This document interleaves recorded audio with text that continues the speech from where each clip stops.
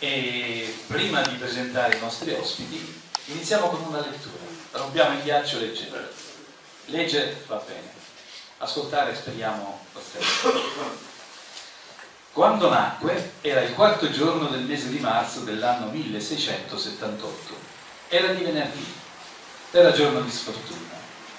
Quando nacque un terremoto serpeggione le viscere di Venezia squassò il cuore della sua gente. In quella furia della terra, tra la paura che cresceva, il demonio cercò di impossessarsi di quella creatura alla quale il padre Giovanni Battista Vivaldi barbiere, violinista nella cappella privata del Doge, e Camilla Canicchio, figlia di un sarto che veniva da sud, dalla provincia di Matera, di Matera da Pomarico, avevano dato il nome di Antonio, sussurrando una preghiera al santo perché placasse la terra che tremava. Quando Antonio nacque, il diavolo, che si aggirava in mezzo alle rovine, lo insidiò, lo ghermì lo violò, gli strinse il petto, tentò di soffocarlo. Fu Margherita Veronese, sua levatrice e balia, a sottrarlo alla brama del maligno, alla sua crudeltà, alla sua perfidia, con un battesimo che gli diede in quell'urgenza nel nome della Santa Trinità. Ma prima di rinunciare a quel fanciullo, il maligno gli lasciò l'affanno, l'asino, è la maledizione di una musica che non si sarebbe mai compiuta, che sarebbe rimasta sempre compressa nel pensiero. Quella musica contratta, Antonio Vivaldi si portò per sempre dentro.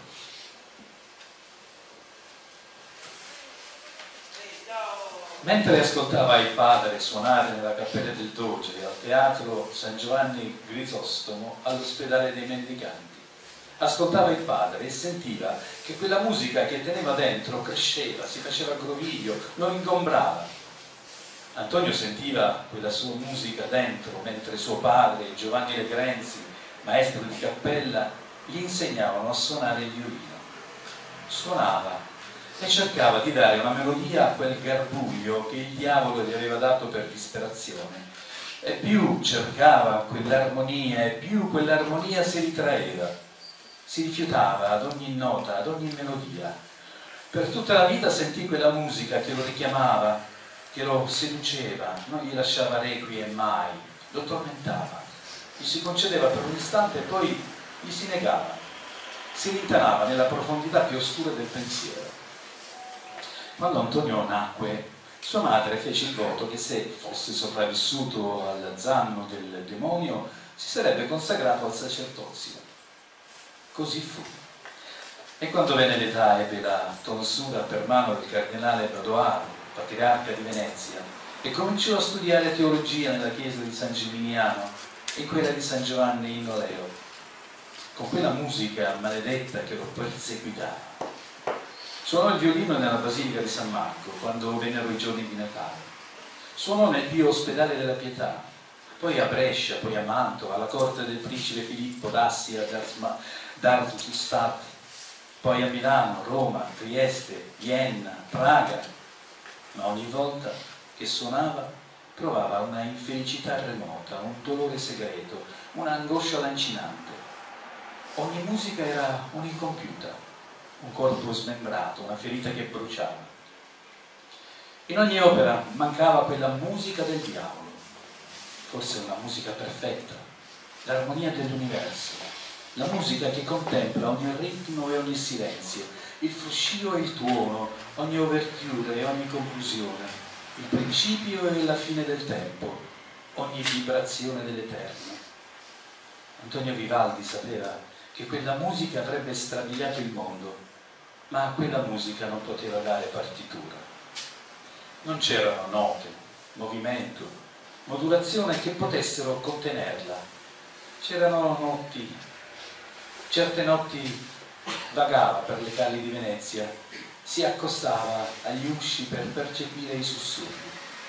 Forse quella musica non era altro che un sussurro, un pianto, un vagito, pensava. Forse non era altro che un respiro nel sonno, l'affanno di un vecchio, un sospiro di donna. Lui non aveva mai avuto una donna, mai conosciuto l'amore, mai né a Venezia né altrove. Forse aveva avuto soltanto un palpito di cuore quando a Mantova conobbe Anna Maddalena Teseire, che poi diventò contralto prendendo il nome d'arte di Anna Girò. Ma era ancora una bambina quando la conobbe, una bambina per la quale poteva provare una tenerezza, non amore. Vagava per le calli di Venezia nottetempo, forse sperando che nel silenzio il diavolo gli sciogliesse nella mente quella musica con cui lo aveva maledetto. A Vienna, la notte tra il 27 e il 28 di luglio dell'anno 1741, nella casa affittata presso la vedova Maria Agathe Ballerini, l'asma si fece più forte, più acuta, lo soffocava. La febbre cresceva, lo portava al delirio. Nel delirio vi ritornavano i motivi delle sue quattro stagioni risentiva lo scorrere dei ruscelli, il trato dei cani, il canto degli uccelli, il ronzio delle zanzare, e il pianto dei pastori, il fragore della tempesta, le feste di caccia, il bruciare dei fuochi, il silenzio delle notti, e rivedeva i danzatori ubriachi. Poi all'improvviso una musica, un'altra musica mai pensata, mai sentita, si insinuò tra quelle melodie e lui la riconobbe quella musica del suo primo giorno, quella musica del suo ultimo giorno, imperiosa, leggera, magica, mirabile, superba, sublime. E lui la riconobbe. Si sollevò dal letto, malido, prese il violino, si avvicinò alla finestra, guardò fuori, Vienna, guardò Vienna nel buio e suonò, e suonò come un prodigio, una stregoneria, come se un dio, un demone gli dettasse i movimenti delle dita, suonò, suonò, mentre la febbre gli si addensava dentro gli occhi, mentre il delirio gli dava il capogiro. Pensò che fosse quella la sua musica, che tutto il resto non fosse stato niente, che non avesse avuto senso, che tutta la musica che aveva scritto prima di quella notte non avesse nessun senso.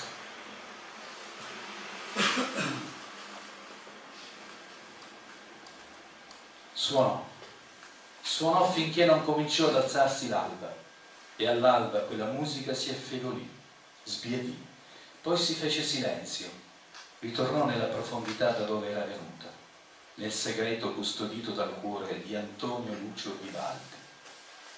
Lo trovarono quando il mattino era già alto, disteso davanti alla finestra. Nella mano stringeva il violino, sulle labbra aveva l'ombra di un sorriso di pace era Antonio Vivaldi, che suonava il violino divinamente e noi abbiamo con noi chi scrive divinamente, Antonio Enrico.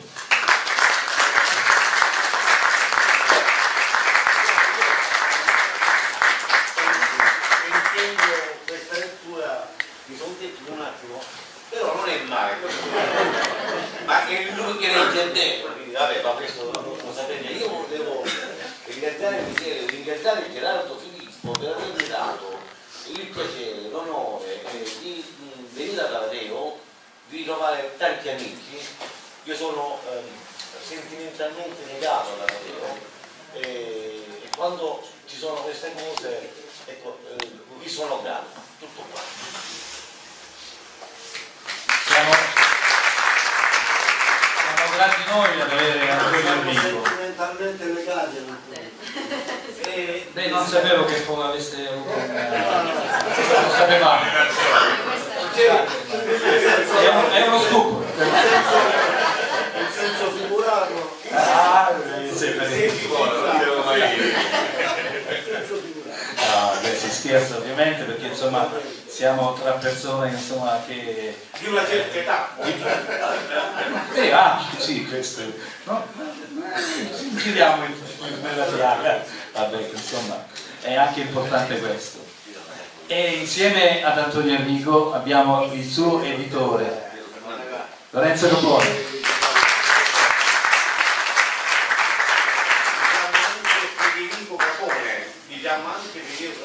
Federico? Ah sì, ecco sì, anche Federico perché si ha portato i libri, insomma.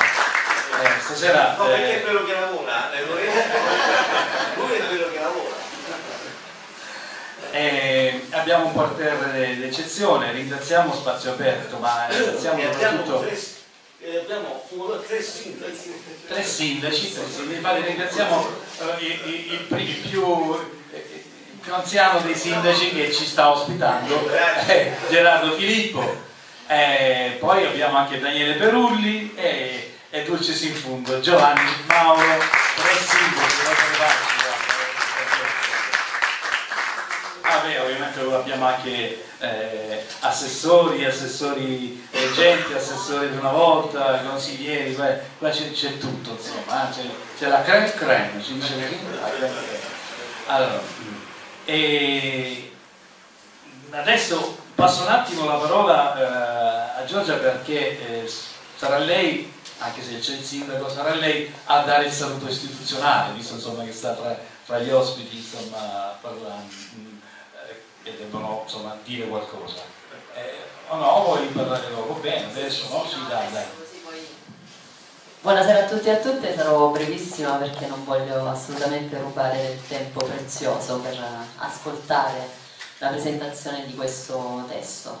Ehm, d'obbligo però è un ringraziamento a questo luogo, a questo nuovo presidio culturale di cui siamo molto molto felici e mi permetto appunto di parlare anche a nome del sindaco, del consigliere Dalmacere e di, di tutta l'amministrazione, perché avere un nuovo luogo di incontro è importantissimo, è vitale per questo Paese.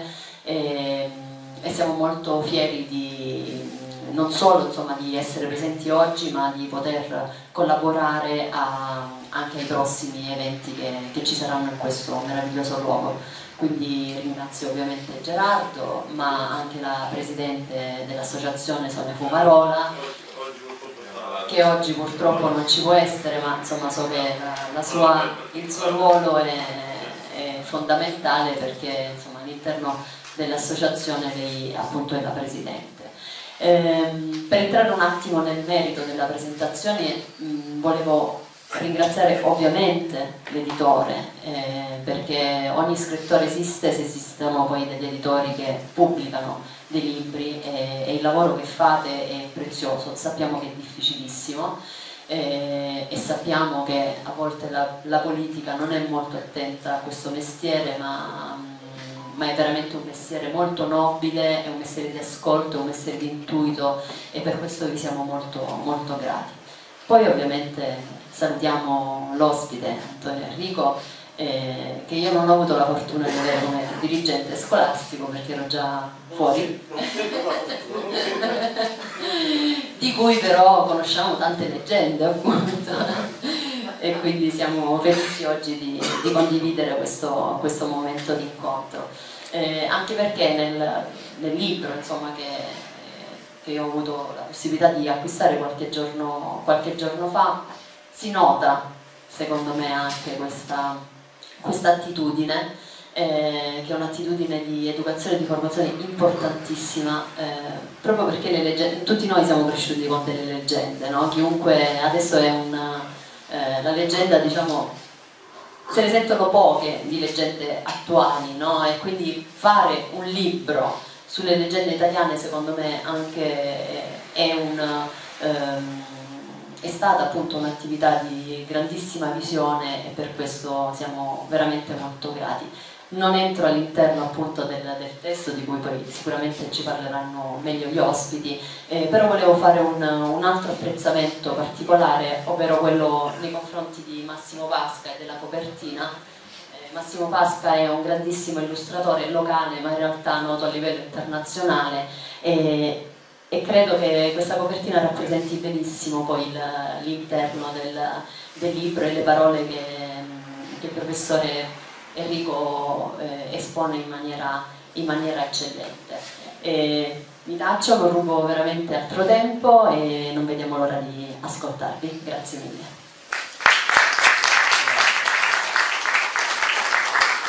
Hai fatto bene, mi hai anticipato perché io volevo soffermarmi un attimo anche sulla copertina, essendo anche amico di, Massimo, figlio di Francesco, grande poeta, grande scrittore, insomma, e, e quindi... Uh, 360 gradi, è vero, Francesco poi ogni giorno pubblica, Francesco in modo eccezionale, insomma. E, Massimo segue le orme e lo supera certi, eh, per certi versi, insomma, ecco. Allora, eh, abbiamo ospite Antonio Enrico, insomma. Antonio Enrico ha fama di narratore e poeta ed è conosciuto da tutti in ambito culturale e scolastico. Per lui non bastano poche parole di presentazione, ma troppe sarebbero, sarebbero eccessive per un maestro della parola come lui. Antonio Enrico è un eccellente educatore di armonie. Ogni verso dei suoi scritti sembra composto sul pentagramma musicale. Abbiamo, abbiamo ascoltato prima la lettura del, su Antonio Vivaldi, ma insomma, diciamo non è che si discosti molto, no? lui suonava bene il violino, e Antonio Enrico fa musica con, con la sua ogni verso eh, eh, diciamo come se fosse scritto sul pentagramma musicale di questo io ne ho personalmente cognizione avendo avuto più volte l'occasione grazie sempre ad Antonio di leggere pubblicamente le sue opere lui scrive con uno stile ormai riconoscibile in cui si sente tutta la sua vocazione per la scrittura pensare di leggere i suoi libri come semplice passatempo alla stregua diciamo di tanti di, di, di, tanti altri significa insomma peccare di ingenuità, insomma, leggere un libro di Antonio Enrico vuol dire eh, essere, eh, entrare nel profondo delle, de, delle cose, delle situazioni. La sua è una scrittura armoniosa e nello stesso tempo potente che aiuta ad aprire immensi portoni sulla vita, capace di far entrare il lettore in empatia con i personaggi delle sue storie. Io mi sono preso gli appunti perché sennò tante cose non... Ma per conoscere ah,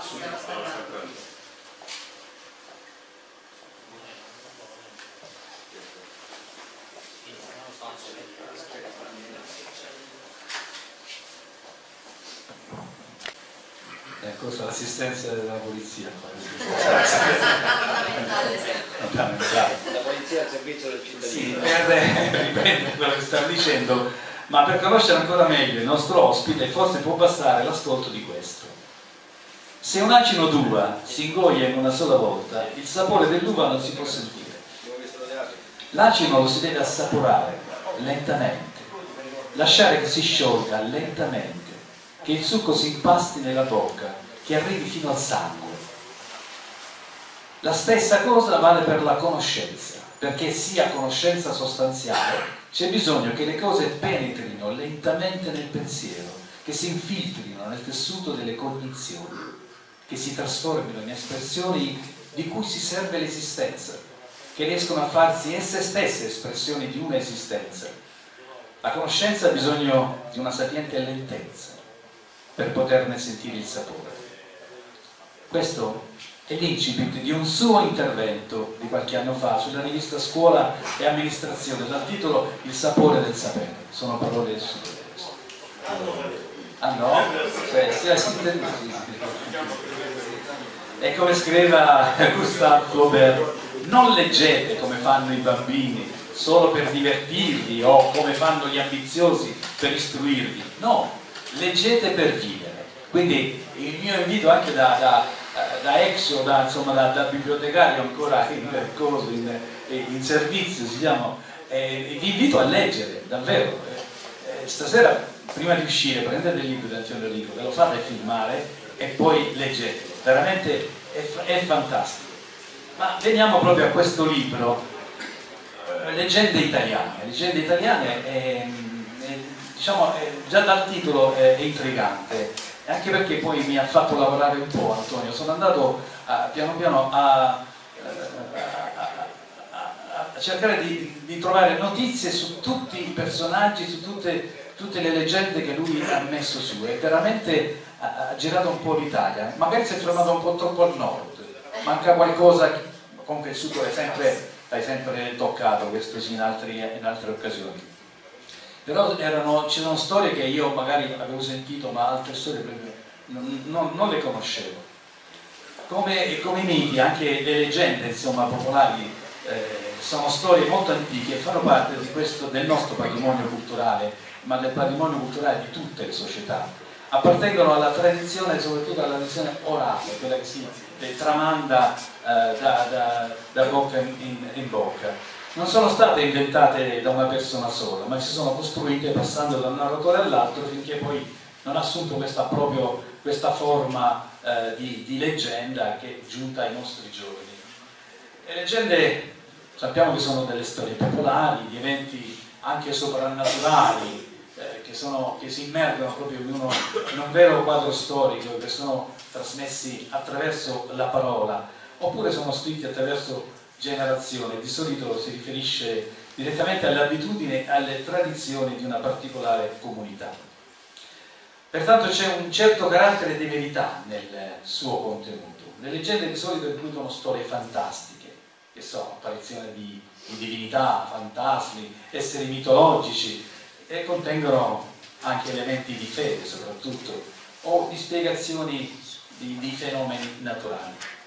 Però ancora nessuno, almeno da quanto io ho cominciato a, a, a capire, nessuno eh, sa perché comincia la leggenda, no?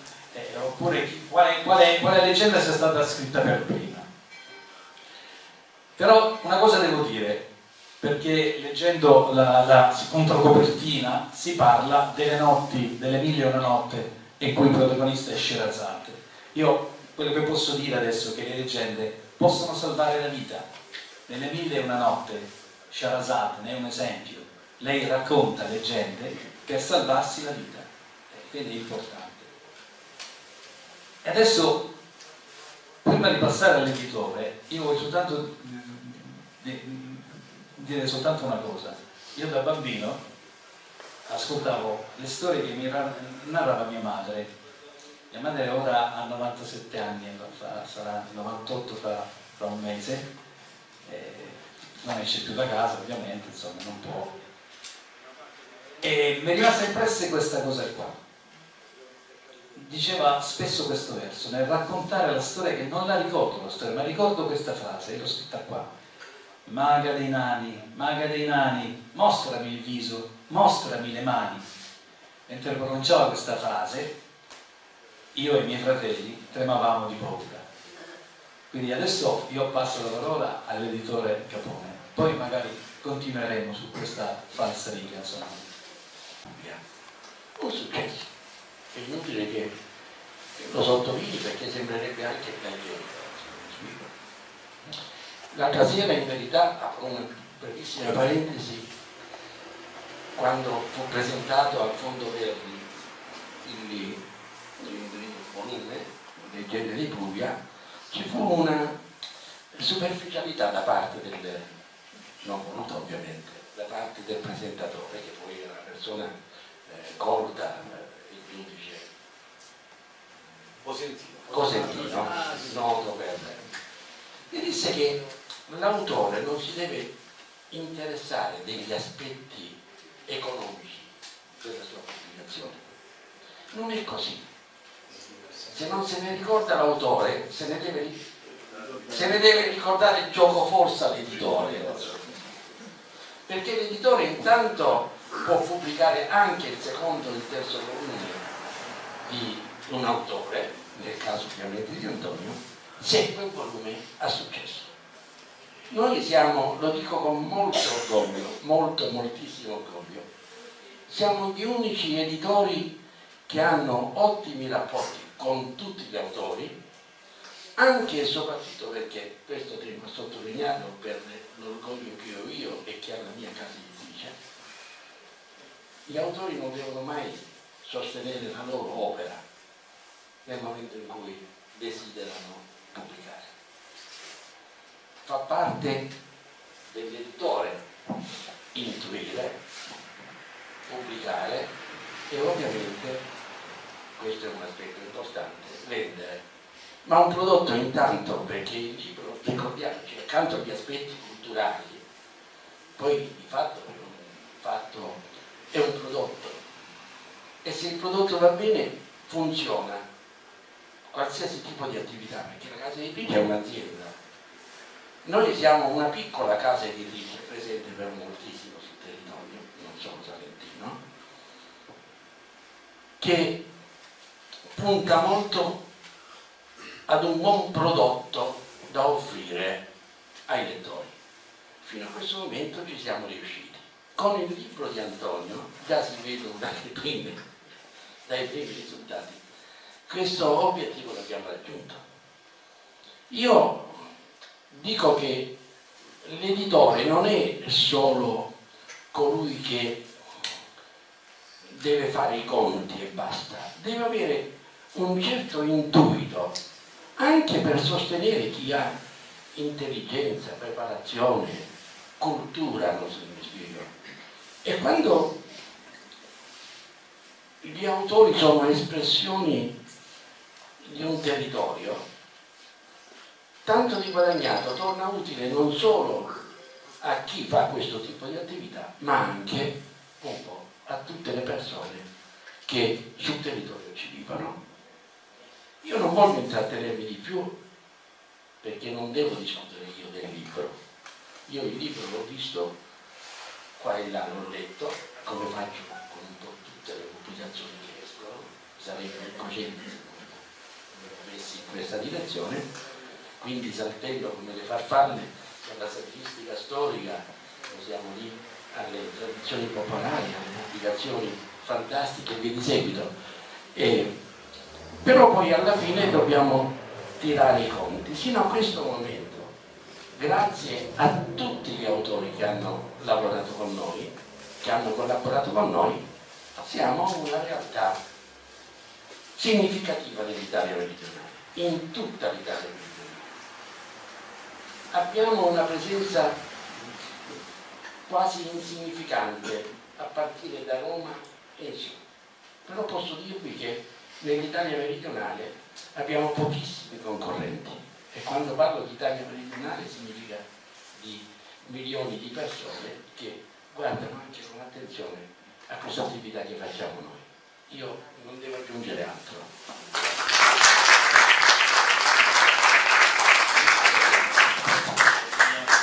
Teniamo ben stretto, dai. Sta funzionando meglio ora che rotto.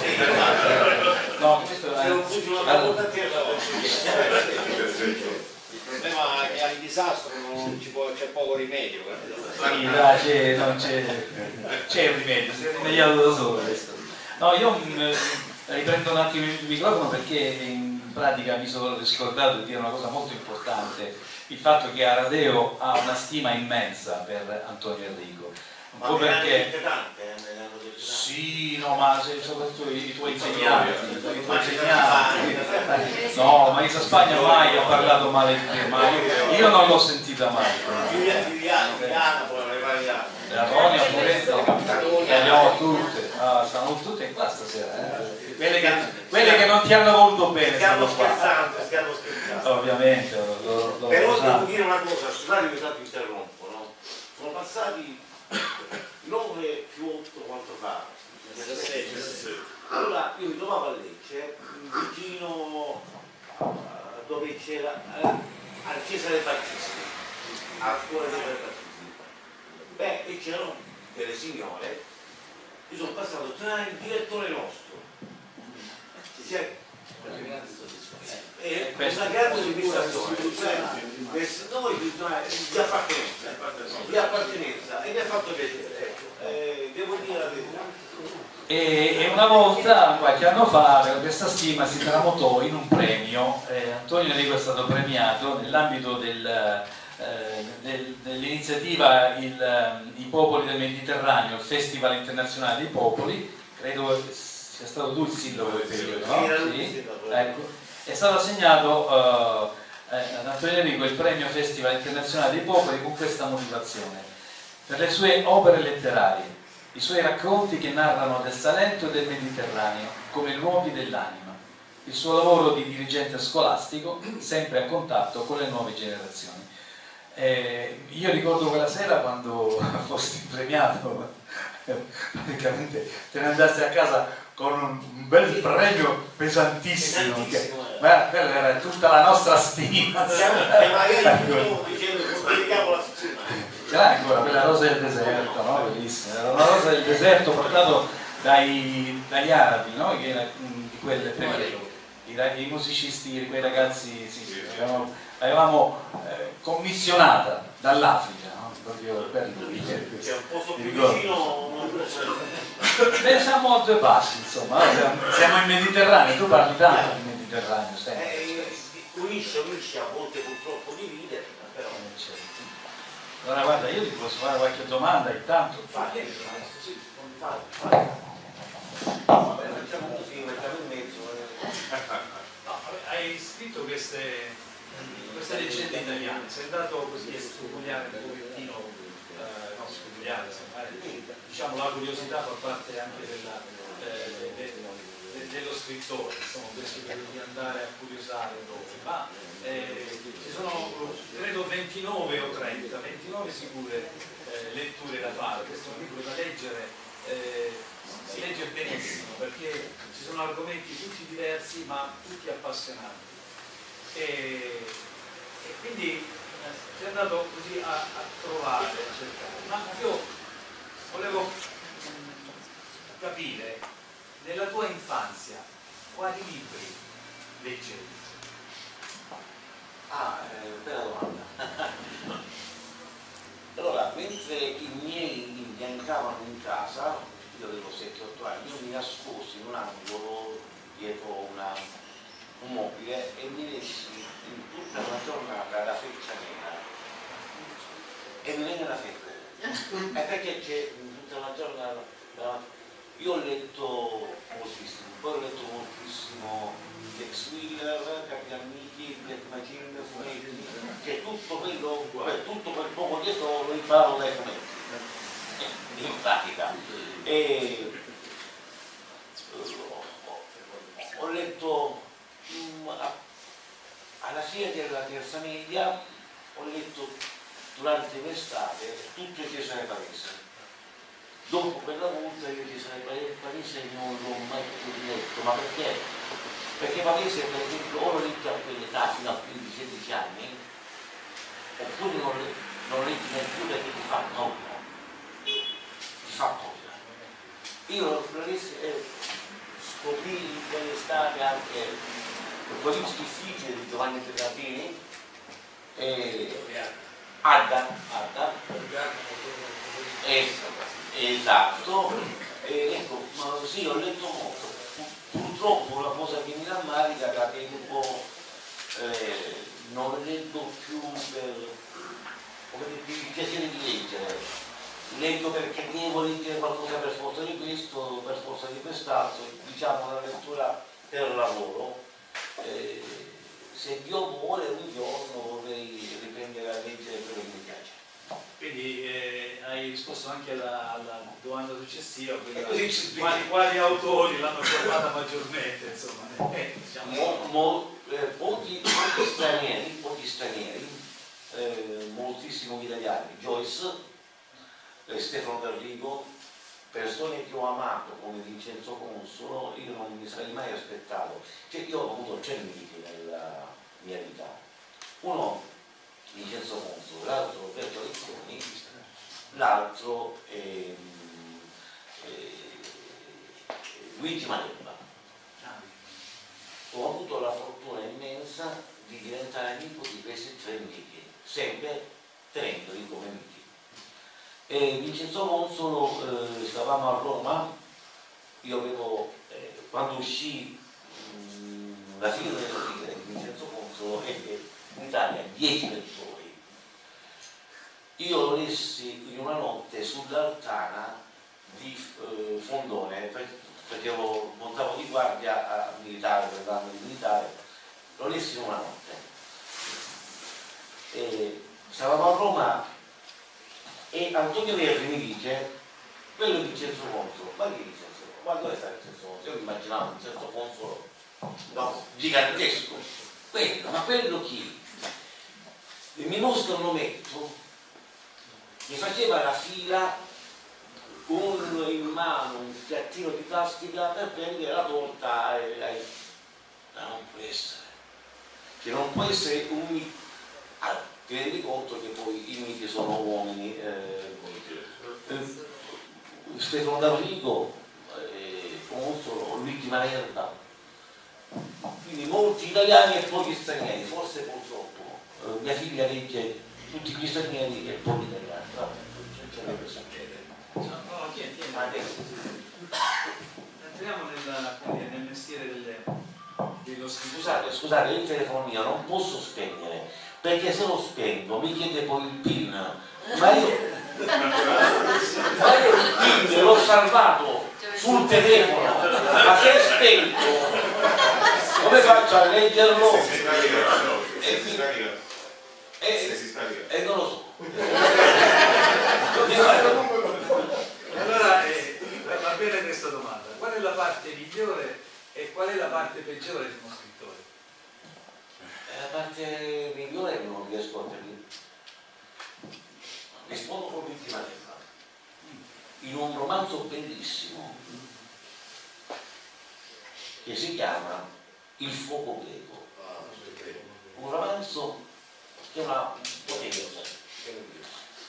Allora a un certo punto c'è un personaggio che dice a un altro, tu sei uno scrittore, io non so se uno scrittore è anche un uomo.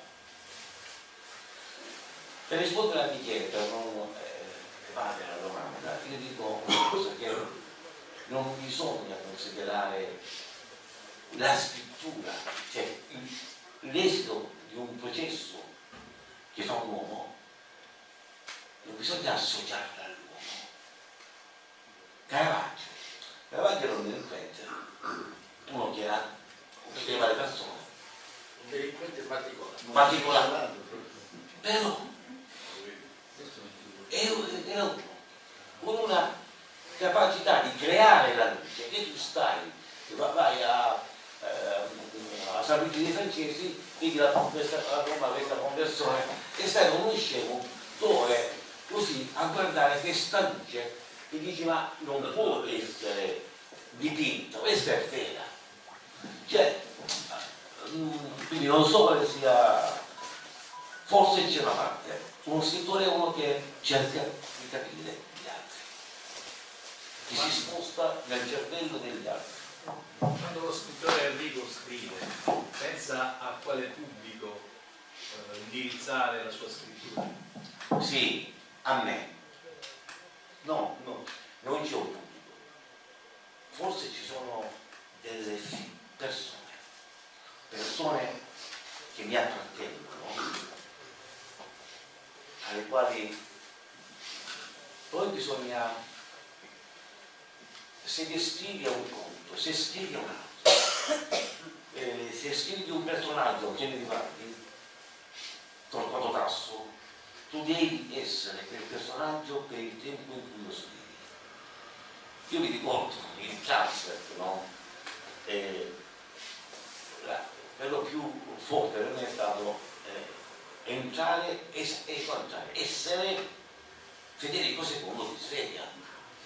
Per il tempo in cui ho scritto romanzo, io sono, sono stato per il tempo che andava dalle 8 e mezzo di sera alle 12 e mezzo perché poi dovevo tornare a lavorare domani mattina dovevo smettere di fare il operatore perché eh, devo tornare no?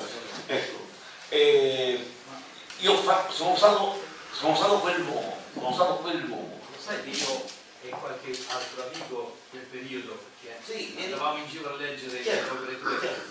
chied- chiedevamo, ma sta parlando di lui, per cui ti medesimavi tanto, giusto? E- ero, ero lui, ero, ero lui. Eh, giorni fa ho conosciuto una persona perché mi spiace non sto ricordando il nome, uno che ha scritto un romanzo ehm, su Federico II, con Mondadori. Stavamo parlando, e un'altra persona che ha detto Antonio Enrico, questo non è di qua, eh. ma dice per caso lei ha scritto un, un romanzo che si chiama così? Sì, mamma mia. Cioè, mi sono detta, non si può scrivere nulla sulla caccia dopo quel romanzo, ma io non sono mai andato a caccia, mai. Io posso Eh, fare una domanda? sì, come no, assolutamente. Però facile. Non sapevo, no, io sai che ho fatto milioni di domande, so. voglio dire, per ragioni diverse. Però questa storia che tu hai letto molto ti ha affascinato quindi. Malerba e quindi hai citato il fuoco greco. Ma lo sai che in questo momento mi viene un'idea, c'è un accoppiamento con quello che hai scritto di sopra, con i tanti fatti, perché anche lui parte da quella che è la situazione presso la sublime porta, sempre per dirla da, da intellettuale, di quello che avviene nel mondo della sublime porta e tira fuori questo bellissimo romanzo, perché io ho letto eh, forse 30 anni fa, forse qualcosa di più. Mm, mm. Tu parti da fatti storici per tirare fuori poi tutti questi racconti, tutte queste leggende. Perché la cosa che mi è rimasta impressa, per esempio, è la storia che tu racconti di sopra di Maria Davos. Perché tiri fuori poi tutte le famiglie patrizie del eh, mondo napoletano. napoletano. Quando dico mondo napoletano, mi riferisco, voglio dire, perché parli di Canafa, parli di Gesualdo, il famoso musicista, voglio dire, della Basilicata.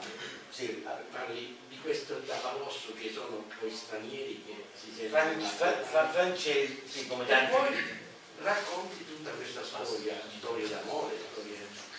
Allora, molto bella, ecco, dal fatto storico, dalla rappresentazione, a tirare fuori poi questi racconti. Io ho cercato di darmi un metodo, diciamo così, eh, cioè, che cosa ho visto? eh, ho visto quelle zone d'ombra che la storia non spiega. Cioè la storia a un certo punto si ferma, dice questi sono i fatti, tutto ci sia dietro, tutto ci sia dopo i fatti, eh, non, non lo sa nessuno. Quasi tutti sono personaggi storici o situazioni storiche. Io ho cercato di entrare in quella area di rigore che la storia non spiega. A proposito del eh, terremoto a Venezia, di cui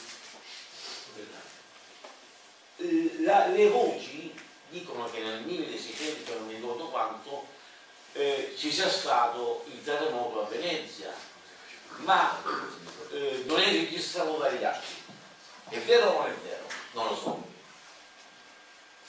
E la battaglia di Campaldino succede che ci siano state, che vedono i fantasmi dei, sì, di una battaglia. Quindi, allora, mi sono mosso, quando è che si racconta? Adesso lo diceva anche il buon vecchio Alessandro Manzoni, no? Quando è che si racconta? Quando la storia non sa spiegare i fatti, i fenomeni le circostanze. Allora interviene l'immersione interviene Abbiamo una domanda facile? sì, c'è sempre, in tutte le cose c'è un inizio e c'è una fine. Allora, diciamo che cosa significa, significava per te iniziare a scrivere e che cosa significa continuare a scrivere. E non lo so, dall'inizio fino adesso non è la fine, diciamo, ci sarà una fine tra cent'anni, sicuramente per tutti, ma che cosa è rimasto dai tuoi inizi fino ad oggi? E che cosa dire, hai guadagnato non dal punto di vista economico di quanti economico però... non lo posso dire perché è una, una entità tale. Ecco, che cosa ti, ti dà che cosa ti ha dato la scrittura? Che cosa ti, ti, ti dà ancora? Eh, guarda io fino allora, io non riesco a pensarmi senza stare in una scuola e senza scrivere. Da un po' di tempo riesco anche a pensarmi senza stare in una scuola, e cioè perché negli ultimi tempi eh, la cosa è diventata Covid, il lavoro fatto con la pandemia, eh, noi abbiamo fatto un altro mestiere, eh, non, siamo occupati di pandemia, adesso ci occupiamo di PNRR, cioè riesco anche a pensarmi certe mattine a dire ma stamattina soltanto non mi era mai successo che mi dicessi questa mattina non tanto mi sta andando, no? Adesso qualche modo mi succede. senza scrivere mm, non riesco a pensarmi, non riesco a pensarmi. E per me è esattamente eh, come era 40 anni, 50 anni fa. 50, 50, 50 anni fa. Eh, 50 anni fa, è esattamente la stessa cosa. Io ho cominciato a scrivere professionalmente quando facevo la terza elementare, perché? Perché all'epoca, aiutati i miei tuoi, si scrivevano i pensierini, che adesso per fortuna non si fanno più. Però io una volta, una volta feci un compito che non era buono, era lungo, due o tre pagine, allora venne fuori l'Antonio sa scrivere, perché avevo fatto due o tre pagine, va? E, e, e, e da quel momento io dovetti scrivere per dovere, perché sapevo scrivere, avevo fatto in terza elementare. Al un anno del magistrale io feci in quattro ore di compito per gli altri, quattro temi tutti diversi su quattro tassi. Cioè li spacciavo, che valore, e, ecco, e però eh, ho un metodo, ho un metodo. Per me la televisione non esiste. Alle otto e mezzo finisce la trasmissione con il telegiornale. 8 e mezzo, 12 e mezzo di, di sera, prima facevo anche le due, adesso no, eh, io scrivo. Siccome sono anche veloce, poi mi faccio due cartelle al giorno, una cartella equivale a 1800 battute. Mi mantengo una collaborazione di due pezzi alla settimana con quotidiano ci sfoggiano le ginocchia più queste, queste cose però ecco, con sistematicità 8.30, 20.30 12.30 uh, una prima fai le 3, le 4, le 2 no. tu hai conosciuto diciamo, persone di cultura veramente importanti so, prima durante, sì. Salvatore Toma, sì. ma anch'io ho conosciuto Antonio Verri in altri ambiti, però vorrei che tu ne parlassi un po' di Antonio Verri, di Rina Durante, di, per, con le tue parole, perché tu hai avuto la possibilità di, di, di formare un'equipe con queste, con queste personalità della cultura.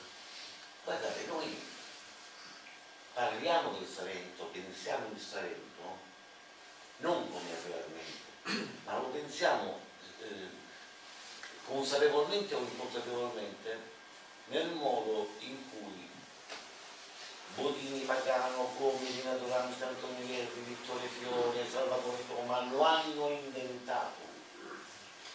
Crea, cioè, il Salento come oggi, anche turisticamente, non sarebbe com'è se non ci fossero state queste persone.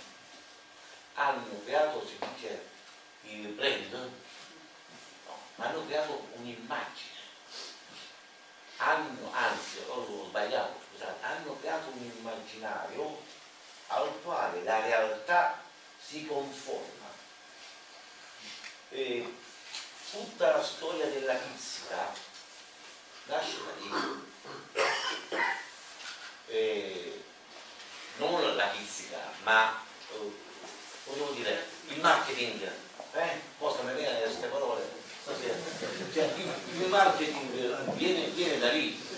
Eh, un lavoro molto importante l'ha fatto il Fondo Verdi di promozione, di custodia di certe, di certe cose. Eh, erano sono state persone e personaggi leggendari, leggendari, eh, di una innocenza incredibile. Salvatore Toma era poeta poeta puro, Marile, Bosco, e Antonio Verri era un bambino di una intelligenza e sensibilità straordinarie. Quando nacque mia figlia, la grande, era il 7 di agosto, due o tre giorni dopo lei, lui venne a fare visita e poi doveva portare qualcosa, no? Per cui alle 6 di, di, di pomeriggio di agosto lui comprò una vaschetta di gelato dal bar vicino a casa mia in piazza.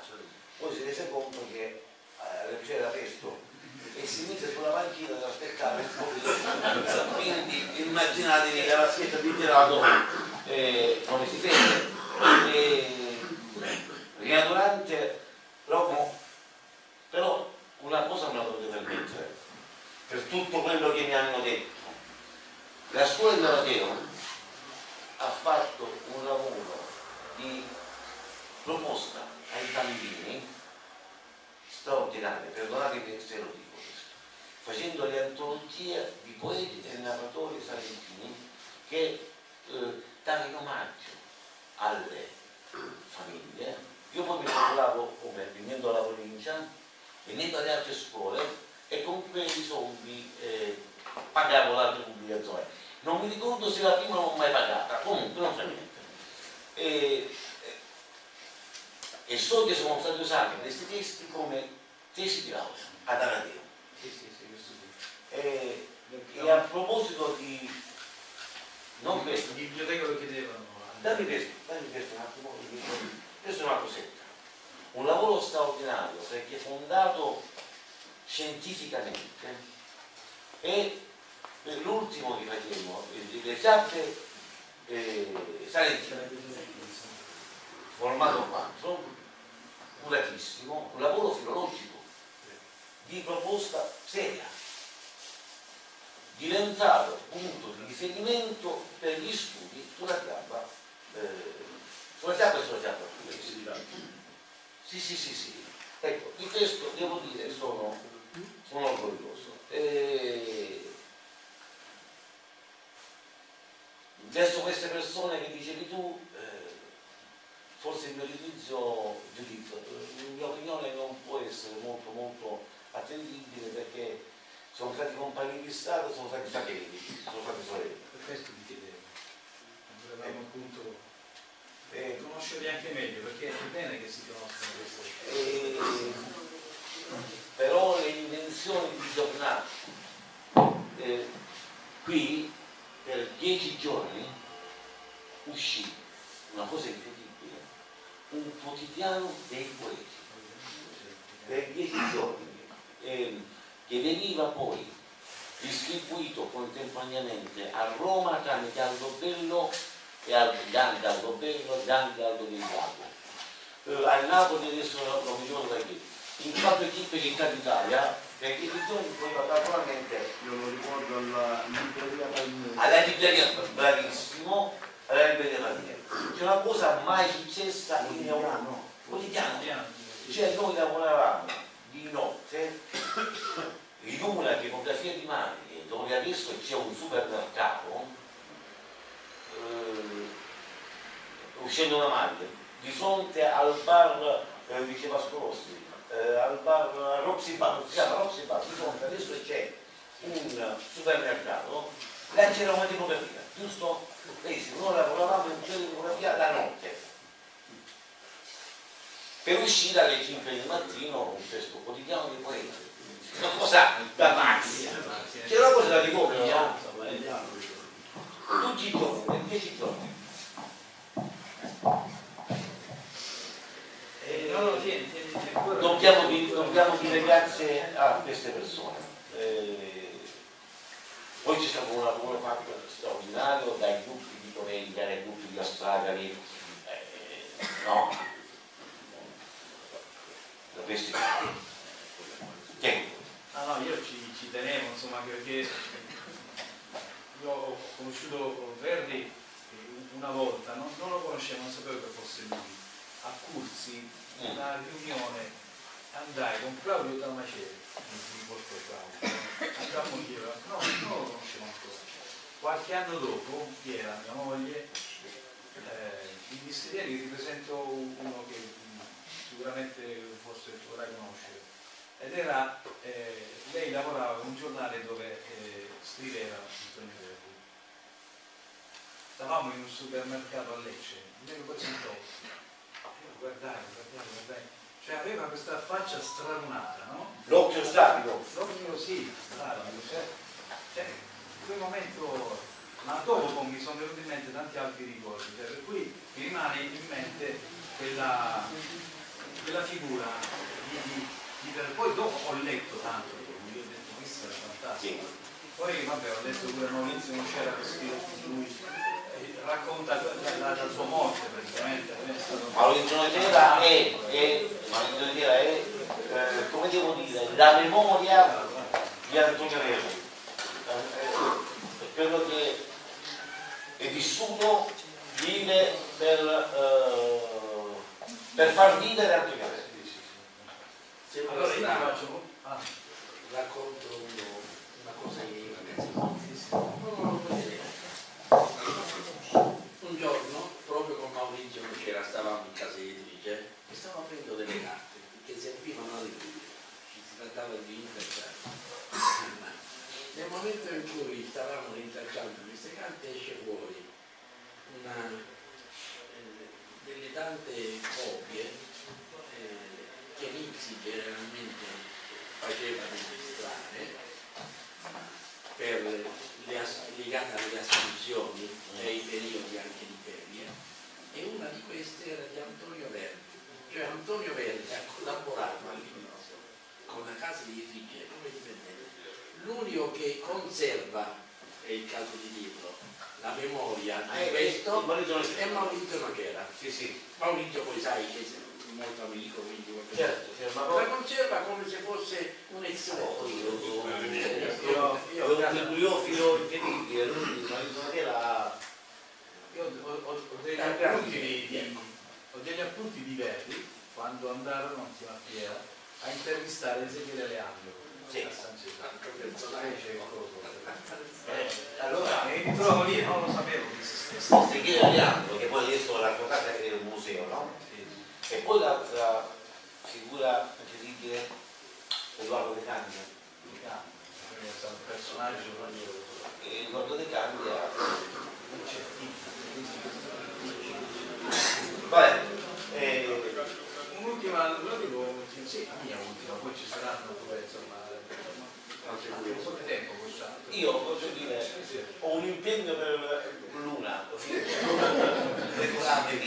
Allora, una volta, una volta domandare, chiesero a Gianni Rodari, Rodari tu fai giornalista, ecco, quando smetterai di lavorare, che, che mestiere vorresti fare? E lui rispose, fammi crescere la barba bianca, e se non sarà bianca la tingerò, voglio fare il burattinaio. Antonio Enrico ti vorrà fare, da grande. vorrei comprarmi 10-15 case. Il, il pastore. Stiamo registrando, eh? Anzi è in diretta adesso. E, oh. E- e- allora, no, vorrei fare a- a- alle banchine della piazza è difficile che ci vada, ma perché mi, mi annoierei. eh. Negli ultimi tempi, scherzando, una persona mi ha detto, ma si faccio, ho detto vorrei fare il regista teatrale. Ma non so farlo comunque, allora quindi, eh, oppure vorrei fare quello che ho sempre fatto di queste cose. eh, e poi una domanda, quando è che si smette di lavorare? Si smette di stare in servizio, ma non di lavorare. Sono due diverse. Sì, io ho una, un'esperienza attuale. Perché lui se lo paga e io come? Non smetti mai di parlare. No, vabbè, eh, vivi per te, non Eh, vivi. non dico. Allora leggi, leggi però per dire secondo, poi magari... Perché il problema è? Che ci fu tutta la storia sul fatto che non si sapeva se Federico II fosse davvero morto o meno, se ci fosse, eh, avesse preso le sembianze di un mendicante che era identico a Federico II, ma lui non è lui, vabbè, eh, vedi.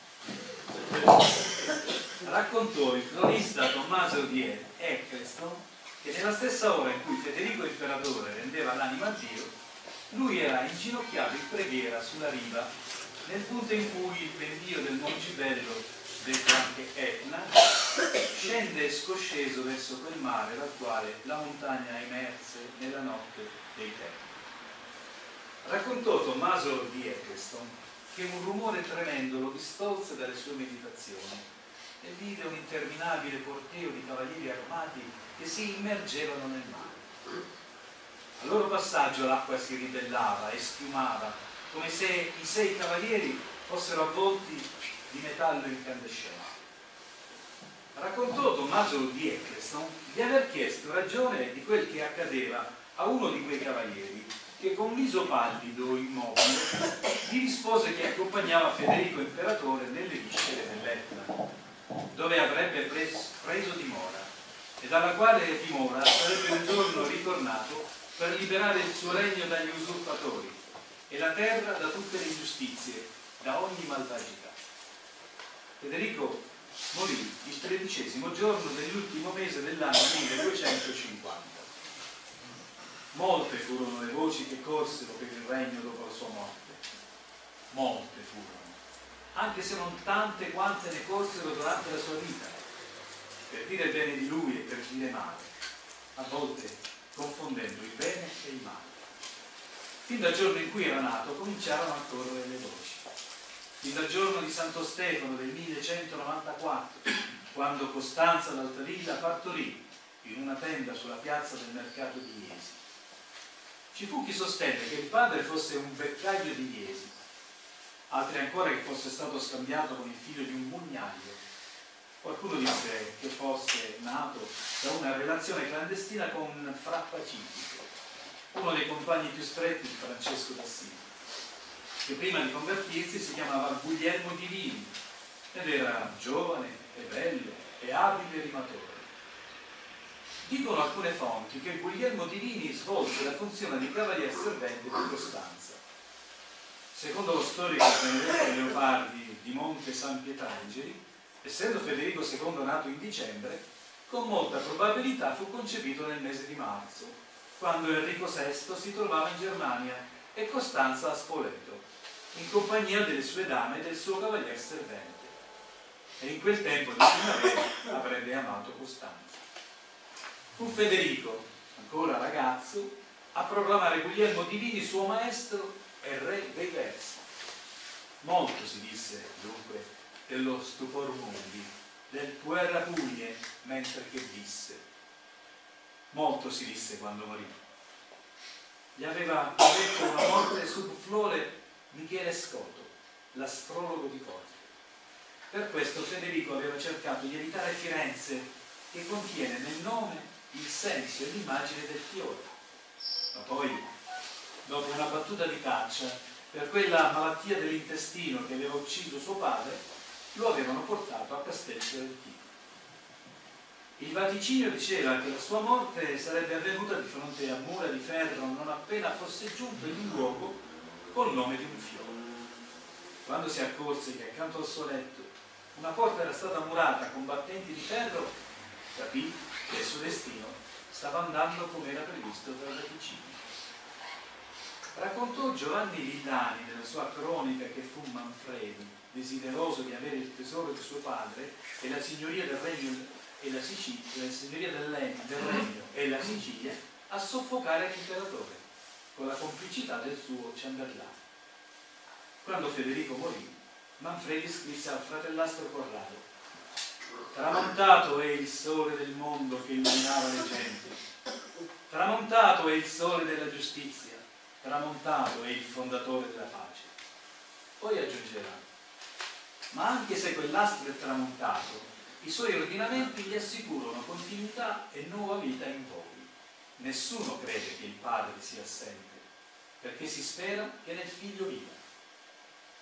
Innocenzo IV annunciò la morte di Federico con queste parole il cielo giubili e la terra faccia festa, il fulmine e la bufera con cui l'Onnipotente così a lungo vi ha minacciato, si sono trasformati, attraverso la morte di quest'uomo, in zeffiri ristoratori e rugiada feconda. Molte voci corsero per il regno quando Federico morì, e tra le voci era forte quella della Sibilla, quella profezia che diceva vivi et non vivi. Aveva detto a Sibilla che egli avrebbe chiuso gli occhi in una morte segreta, ma avrebbe continuato a vivere. Aveva detto che fra i popoli sarebbe scoppiato il fuoco. Vivi et non vivi, perché uno tra i giovani e tra i giovani dei giovani avrebbe continuato la sua opera. Così aveva profetizzato la Sibilla. Riferì fra Salimbene che dopo la morte dell'imperatore si trovò un eremita che gli somigliava straordinariamente e conosceva punto per punto le cose del regno, dell'impero, della corte. Allora alcuni principi e baroni di Puglia, volendo invadere ed occupare il regno, tolsero l'uomo dal romitaggio e sparsero la voce che l'imperatore viveva ancora. L'eremita si prestava a questo intrigo, sperando di acquistarne ricchezze e onori. Ma per ordine di Manfredo, l'eremita fu arrestato, torturato e mandato a morte. Molte voci si sparsero nel regno quando Federico morì, molte voci per molto tempo, quasi che a quell'uomo spettasse il destino di stupire il mondo anche soltanto con il nome che portava. Grazie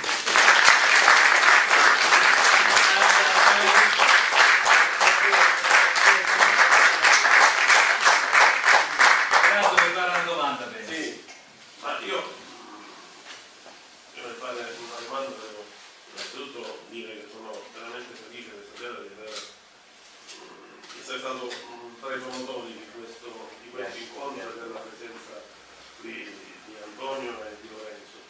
Eh, in particolare eh, la presenza di Antonio eh, ha un, eh, un sapore diverso per noi di Adriano e anche eh, eh, se consentite anche da un punto di vista per- personale per me perché gli anni eh, nei quali sono stato ad Aradeo a dirigere il, eh, la scuola erano gli anni eh, sì, io eh, facevo il sindaco e sono state diverse occasioni di, di- di incontro e di collaborazione in quel periodo. Ma sono felice perché veramente Antonio è uno dei pilastri della cultura salentina. Eh, personaggio veramente eh, straordinario. Eh, abbiamo sentito questo capitolo letto eh, da Michele su, Federico, no? su Tormundi. Beh, io devo confessare che ho eh, sempre affrontato di mano tale da poterlo prendere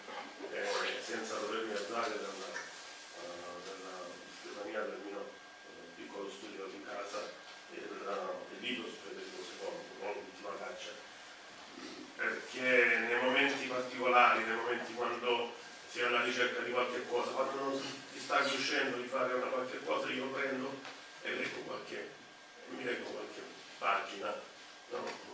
io per stamarti, io per stamarti, eh, perché poi bisogna... eh, sì, ma è anche diciamo, il, eh, l'impegno a dover fare qualche cosa, no? nel momento in cui non- magari non si sta riuscendo di fare una cosa. E quello, eh, quelle pagine mi danno mm, quella carica in più. Eh, ma io voglio dire un'altra cosa questa sera. Eh, io sono un, un lettore eh, domenicale di Antonio, eh, i suoi editoriali sul quotidiano leggo sempre. Eh, e a proposito di questo libro, dell'appuntamento di questa sera, eh, mi sono ricordato di un tuo articolo di qualche, di qualche mese fa, che sono andato a rileggere, mi sono stampato, e che credo eh, possa essere messo per certi aspetti in relazione con questo tuo lavoro. Ed è un articolo dove tu parlavi dell'inciviltà del rumore e dell'importanza del silenzio. Eh, viviamo in questo periodo no, dove il rumore, il rumore è assordante eh, e tu lo descrivi in una maniera veramente molto molto bella, no? Eh, il chiasso rimbombante, il gri- grido immotivato, l'espressione scomposta, la verbosità prepotente hanno mortificato la comunicazione, il mettere in comune, in comunione il pensiero e le storie. Quindi un momento di inciviltà no? di, di, questo rumore come il ronzio, eh, come il ronzio di uno sciaperati amplificato e ossessionante, come l'abbaglio di una muta di cani affamati, un rumore che proviene da ogni direzione in forma di frastuono, rintuono, rintrono, stridore, chiasso, fracasso, gazzarra, cagnara, baldoria, tuo. Beh, eh, e, e, poi reclami ovviamente in contrapposizione alla, al rumore l'importanza del silenzio. Eh, che il silenzio che non significa non parlare, non significa, anzi, al contrario, il silenzio che è una cosa, usi un'espressione molto bella, no? eh, è come eh, un, un, urgente bisogno di una, pedagogia, una pedagogia del silenzio, cioè il silenzio che significa meditare e, e, poi parlare e poi scrivere, il silenzio che è scrivere. Mi viene in mente anche eh, Baricco quando dice eh, che scrivere è una forma sofisticata di silenzio, no? per certi, per le leggende, in un certo qual modo, eh, eh la, um, il tramandare le storie che diventano leggende attraverso questa forma di silenzio. Quando le leggende venivano tramandate eh, quasi in punta di piede, senza fare rumore, no? erano i nonni che, che le tramandavano ai, ai figli, ai nipoti soprattutto e tutte le volte che le tramandavano da generazione in generazione magari cambiavano qualche cosa, tanto che oggi alla fine dice ma è vero o non è vero, non si sa, non ha importanza, è la leggenda. Beh, allora, come si può cioè io ho colto questa cosa, uh, vorrei che mh, tu dicessi qualcosa in merito, cioè questo uh, mettere in rapporto la, le leggende con la necessità del silenzio in un momento in cui si vive nel rumore, nel frastuono, sotto tutti i punti di vista nella società, ma anche eh, nella gestione della cosa pubblica, c'è il prevalere del rumore assordante attraverso i social, attraverso quando oh, eh, poi tutto questo fa venire meno la meditazione eh, e poi anche la produzione delle, delle, cose. In un altro articolo dicevi pochi giorni fa eh, il fatto della, eh, che non si raccontano più le storie, no? Quindi di una volta, prima che hanno, hanno dipinto hanno raccontato eh, la, il Salento facendo diventare anche un momento di matti, ma lo hanno raccontato, oggi non si dice che cosa raccontiamo oggi, si chiedevi in un articolo qualche, qualche giorno certo, fa. Certo, certo. Io ringrazio Gerardo eh, ovviamente per essere qua, eh, lo ringrazio eh, di quello che ha detto, pone una questione scusate, non, posso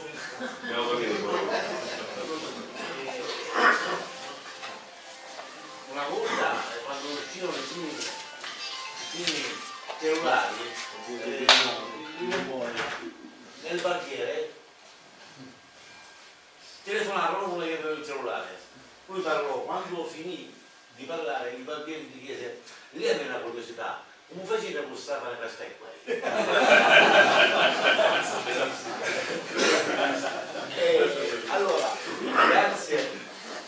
Ma, eh, tu hai colto un aspetto di filosofia estrema del silenzio e del rumore. Noi viviamo nel rumore. Non soltanto del fatto che tu vai in una pizzeria ma non riesci a parlare con la persona con cui stai perché c'è la musica alta no ma del rumore che detto lui della civiltà, che fa rumore perché molto spesso, e secondo me è una cosa studiata, non facciamo capire. Se noi viviamo in politica, la persona che ci ascolta non ha la possibilità di fermarsi a riflettere e capire, ma lo rimbambiamo. E il silenzio, cioè, ma la comprensione delle cose avviene nel silenzio, nella riflessione. Eh, dopo aver riflettuto, dopo aver si dice che cosa si è compreso e si confronta con quello che un altro ha compreso, che ha compreso qualcosa di diverso da te. Dal confronto delle due comprensioni viene la terza cosa, che forse non so se è la più giusta, ma quella che mette insieme la mia e la tua. Pedagogia del silenzio, qua c'è un pochino di botta alla scuola. La scuola non ha più il silenzio, ma dalla scuola dell'infanzia, musica di scuola dell'infanzia, alla, agli studi superiori, all'università, eccetera, si fa soltanto casino.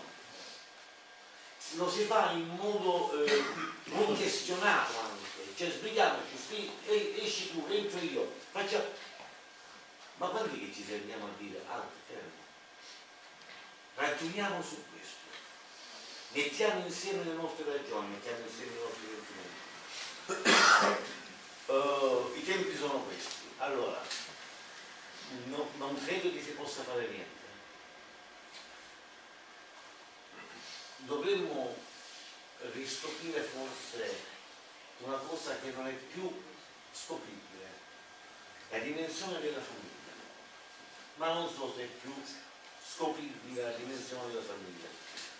Giustamente dicevi, quando è che si racconta la leggenda? La leggenda nasce nel silenzio vicino al fuoco, sul limitare delle case nelle nozze dell'estate, quando la calura sale e non ti puoi andare a mettere sul materasso perché sta prendendo fuoco. Cioè, è lì che nasce la leggenda e si racconta la leggenda adesso non c'è più. Italie adesso si chiamano le linee o anche superate metropolitane. E parlano di rumore. Non di storia barra storia eh, non so che possiamo farci. Io spero nella noia delle nuove generazioni che i social hanno compiuto già un'opera di devastazione irreparabile il rumore della comunicazione. No? Adesso siamo tutti editorialisti sui social. Ehm, tutti diciamo spariamo contro di tutti. Non ci hanno dato questa libertà. Le, le libertà sono la cosa per la quale le persone eh, muoiono, sono bellissime, sono doverose le libertà ma ci vorrebbe una capacità di gestione della propria e altrui libertà, che noi non abbiamo. Noi non abbiamo. E... Allora adesso una però, domanda. però quello, quello che fai aiuta poi quello che fai. Allora, se tu mi dici, no?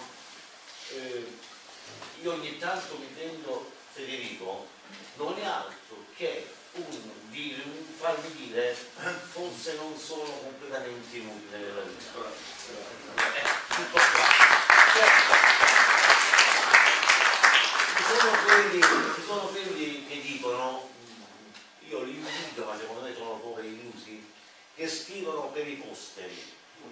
Io scrivo per gli antenati. Cioè perché a mio padre e al padre di mio padre devo dare giustificazione del mio essere qui. E se faccio il lato, eh, come devo dire, forse dispiacerebbe, dispiacerà a mio padre. Se non faccio il lato, forse mio padre sarà Allora io scrivo per gli antenati.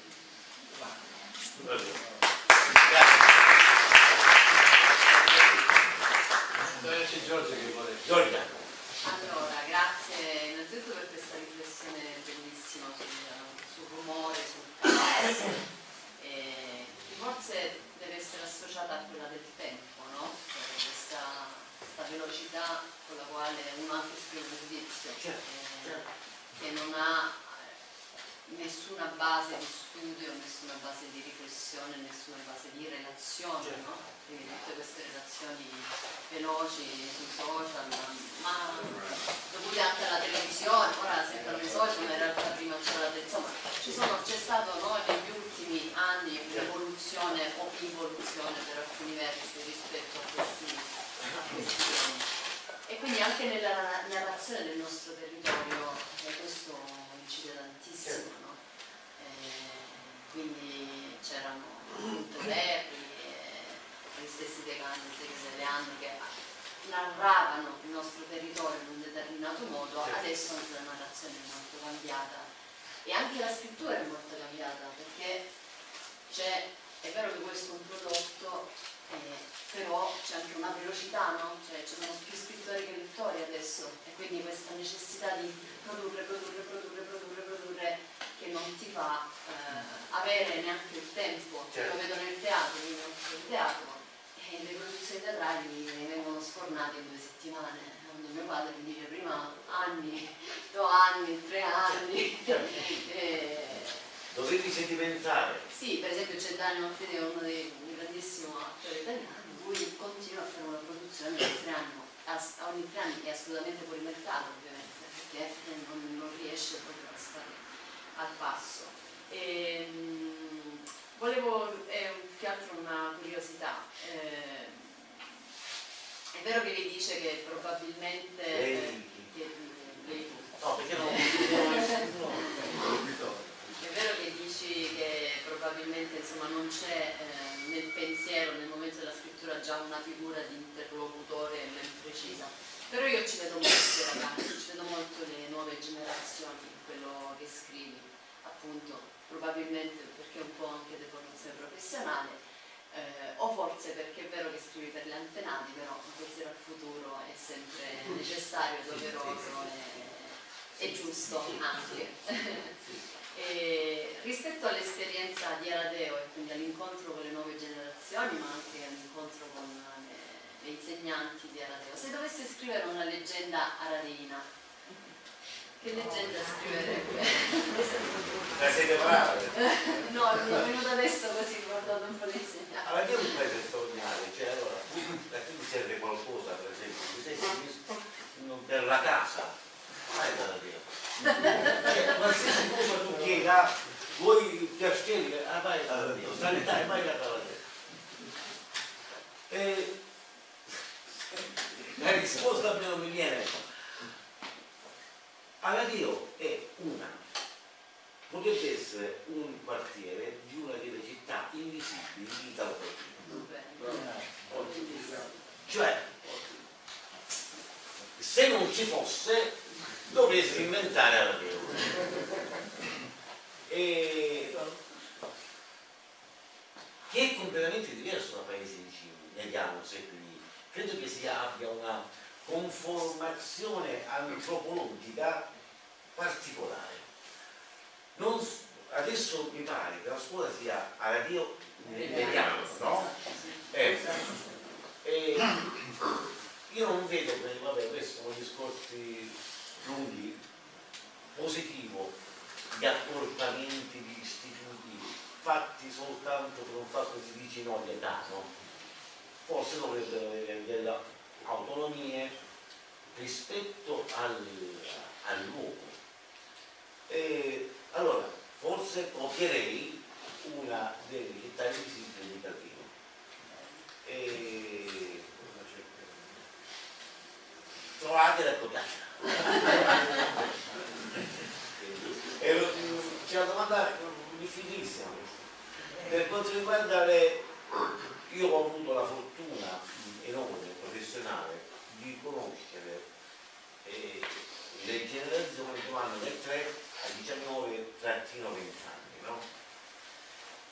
E io credo che questo dovrebbe farlo chiunque, nel senso che tu non puoi capire il ragazzo di 17-18 anni se non sai da dove viene, ma quello viene dal 3, e 4, dai 5. E a proposito di paesi e di configurazione di un paese, Attenzione, quando facciamo l'iscrizione al primo anno della superiore, tu ti rendi conto subito, tu vieni da questo paese, da quest'altro, da quest'altro. Cioè arrivano dalle scuole medie con un tipo di formazione che differisce da paese a paese. Ma questo da chi dipende? Dalle persone che fanno, dagli insegnanti. e di questo della riviene non faccio nomi perché sennò facciamo sempre eh, questo da riviene e, e voglio dire una cosa ci fu uno sciopero a Maglia, io stavo a Maglia anni fa, fu uno sciopero per cui arrivarono eh, gruppi mm, forti dal professionale di Maglia dove andavano al magistrale, chiamiamolo così, dove c'erano le ragazze. E ci fu un attacco. Perché noi non facevamo uscire. Beh, ci furono 4-5 ragazzoni che dissero, fermi, questo non si tocca, io stavo il cielo. E c'erano ragazzi che erano fratelli miei, allora, dice, fermi, questo non si tocca. Anche per sta vedendo Allora, lo- il, il motivo della leggenda è questo. E comunque faremo una cosa sola qui. Questo è un impegno. Questo è un impegno. secondo me c'è una ragione proprio antropologica e territoriale che è legata a ho questa mia teoria, eh, non so. Allora, Aladeo è un, un- paese piccolo da un punto di vista territoriale, piccolissimo, uno dei più come un codice territorialmente Sì, sì, sì. e territorialmente è povero. Non ha un centro storico degno degno di questo nome non ha è, è piccolo. Eh, aveva 800 ettari poco più di 800 ettari. Però ehm, ad Aladeo fanno riferimento più di 10.000 persone. Compresi anche quelli che sono all'estero e che sono che fanno riferimento allora qual è la risorsa? La risorsa nostra non è il territorio, la risorsa nostra vera su cui bisogna puntare è la persona. Eh, È la persona. Da qui c'è stato, mh, c'è eh, diciamo un concetto eh, che si è sviluppato, eh, incentrato più sulla persona che sulle, sulle cose da fare, che sul territorio, che sugli aspetti eh, più propriamente materiali. Questo secondo me è un fatto innato che però non sempre viene messo, eh, viene messo in evidenza neanche dalle stesse persone che a volte non si rendono conto di questo non- mh, la società complessivamente, la, la comunità complessivamente a volte non si rende conto che deve puntare molto di più sulle- sulla persona che sulle cose che poi le persone esprimono. Certo, è uh, Sì, sì, sì. Cioè, la densità che costituisce l'aspetto forte rispetto alla estensione. Da qui la presenza, per esempio, di, una, eh, una produzione eh, artistica, culturale notevole, no? Ah, nonostante Certo. un, un ambito territoriale molto, molto piccolo e che di per sé non Ma nulla. tu mi insegni, voi mi insegnate che Coreglia nasce da Rateo. Alle tre masserie si chiama Eh, e io ero, ero più ragazzino, venivo con un amico con il motorino che sia fuori, no? È fuori. Eh, e, cioè, cosa? Non lo sai chi è che collegano? No, no, E vabbè. veditelo dove Non lo sapete. Di che non ti ho pagato, di che non Non lo ti sapevo. Di che non ti ho pagato. Non lo No, conosco così bene. E vabbè, manco da Però poco, manco da un po'. a quei tempi forse era piccolina. c'ero, c'ero, ma ero piccolo. Eh, vabbè, mi fa molto piacere. Vabbè, che dobbiamo dire, buon Ma quando sono nati i colleghi a Giorgio non c'era proprio. Inizi, inizi, no. Dai, poi dopo. Quando sono nati i colleghi non c'è proprio. Ancora no, quando sono nati proprio ancora no. Si Cioè, o tre anni. Io mi ricordo quando a Coreglia venne eh, Barba, Eh, viene spesso, no? ma di alle che masserie? Ti parlo di 40 anni fa. 40 anni fa. Sì, quasi 40. Fine anni 80. Venne fatto. Cioè, partiamo dall'82, dall'83, si parte da lì. Sì, sì, sì, sì. Io no, sono No, vabbè, però ecco, io sono importantissimi passaggi, i passaggi di generazione sono Ma anche a importantissimi. Straga, Stradele al 180, con Fabio eh, E più o meno qualche anno prima, a Straga di qualche anno prima, due anni e a Stradali, no, stava dove sta, stava dove sta. Sì, sì, sì, sì, sì, sì, sì. Va bene. Nicola volevi fare una domanda o no? No, no, no. Si organizza, si Arrivato in ritardo, forza sta preparando E, niente, io Per ti, me per me è un affabulatore, quindi eh, devi ascoltare. io ti ringrazio, ti ringrazio eh, moltissimo, mi, mi ha fatto, scusatemi se mi ripeto, però poi quando uno invecchia si ripete,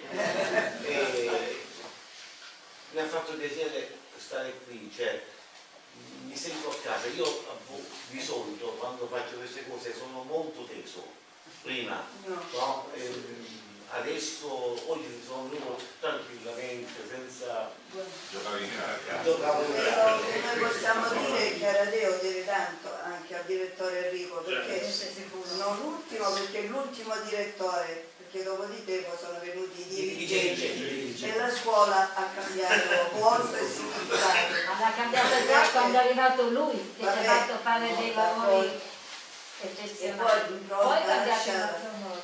Cioè, Eh, abbiamo Ecco, per esempio l'idea di, di far nascere i libri, no? di rendere partecipi gli alunni, di Certo. farli lavorare.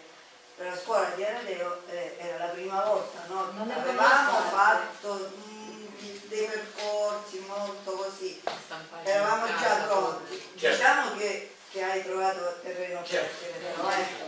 no no no Diciamo, sa, diciamo. no sono, sono sicurissimo No, terreno fertile è che ben lavorato, ben guidato ha dato il Monte con quelle produzioni che davvero, eh, come hai detto, le leggende, ma non solo, quelle sul Salento, tutto il lavoro sul Salento, quello ha cominciato dal Mediterraneo, dal Mediterraneo, tutto Facevo il quel percorso dieci anni, dieci anni, 7-8 un'antologia, almeno 7-8 ne abbiamo. No, 7-8 no, però poi antologie, quanti no, dieci, Scusate, dieci. 10 più 8, 18 Dieci più otto, Ah, diciamo. perché c'era il lavoro, l'antologia e quello Eh, quello, che sì, sì. Ma la cosa e quello bella, in inglese e italiano Poi poi quella parte con la traduzione, la traduzione in inglese, quella era double pass.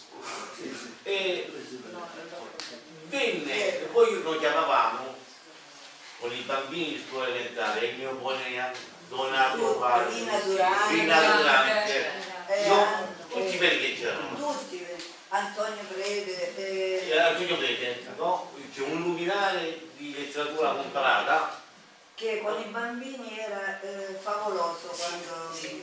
E ma la cosa, la cosa più bella però, che siccome intorno al diciamo, tema del progetto no, lavorava la scuola materna e la scuola elementare, siccome i genitori, le mamme soprattutto, erano coinvolti in queste ricerche, parlavano dell'odissia nel supermercato. Ma che ci sta facendo dell'odissia? Tu, tu quale capitolo sta facendo? Non hai dato vicino questa cosa, te vuoi sta facendo? Qui sta una cosa. No, per cui veniva fuori Circe, io facevo Circe e lei faceva... La cosa straordinaria è quella, che i bambini poi è di quelle famiglie. Però questa era, era l'intenzione, e cioè creare nella comunità, che dicevi tu, un filo culturale che accomunasse. Io ne sono andato dopo dieci anni, dopo dieci anni che ho liberate, perché non avevo più. Quella era la mia. Ho detto, no scusate, senza idee, che ci fai? Mi allontano. Mi sono allontanato rispetto a San Nicola di, di un po', mi allontano. Ci fu una congiuntura, nel senso che mi, mi dissero devi andare là, in quella scuola, vabbè, devo andare, però comunque non avevo più niente, adesso che faccio? Eravamo arrivati alle fiabe, cioè quando tu arriva alla fiaba sei, alle feste, tipo, tipo le leggende. E le leggende, volevo dire questa cosa a tutti, a Gerardo in particolare, nascono da un blocco, e cioè da una cosa che io devo finire, ma che non riesco a portare avanti, da un romanzo. Io non riesco a portare avanti. Non riuscendo a portare avanti mi sono buttato su questo. Eh, un po' di colpo e chiacchierato che sono comune, ma lo ringrazio per Va bene. Allora noi ringraziamo No, tantissimo. grazie a voi.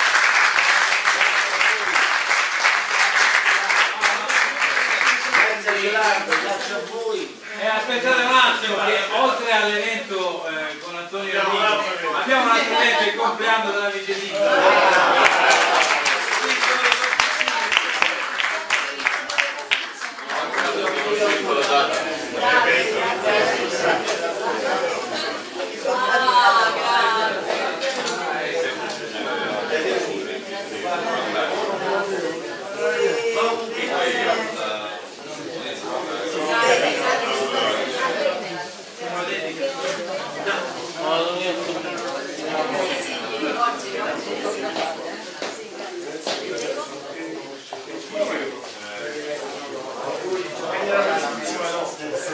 Grazie.